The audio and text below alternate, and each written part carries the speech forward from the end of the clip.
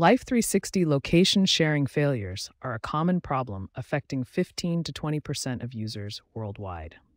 When one family member's location stops updating, it usually falls into three main categories of issues. The first category is device specific issues. These include disabled background app refresh, misconfigured location permissions, or battery optimization settings that kill the Life 360 app in the background. Network problems form the second category.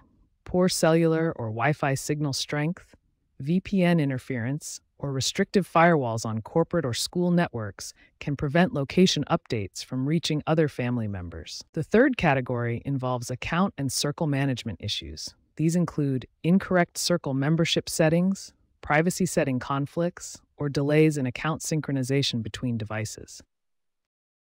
Life 360 uses multiple technologies to track location accurately. It combines GPS positioning, Wi Fi network triangulation, cellular tower positioning, and accelerometer data for movement detection. The app synchronizes location data to the cloud every 15 to 60 seconds, with the frequency depending on how much the person is moving. More movement triggers more frequent updates. Recent operating system updates have introduced new challenges. iOS 17 and later versions include enhanced privacy controls, while Android 14 has refined location service requirements. These updates often create new permission conflicts that can break location sharing. Understanding these root causes is essential for diagnosing why Life 360 stops updating for individual family members. Each category requires different troubleshooting approaches to restore proper location sharing functionality. For iPhone users, start by checking location permissions. Life 360 needs always location access, not just while using app. Also, enable precise location for accurate tracking. Next, ensure background app refresh is enabled for Life 360. Also, check that Life 360 isn't restricted by focus modes or screen time limits, which can block location updates. Disable low power mode if it's active.